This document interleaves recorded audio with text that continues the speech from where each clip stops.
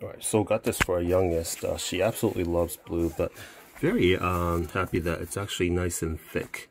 Um, towards the uh, the summertime, the water is still a little bit chilly, so you know, figured uh, something like this would really keep her from uh, getting too cold. So um, yeah, have her try this on. But yeah, the quality of this is really really nice.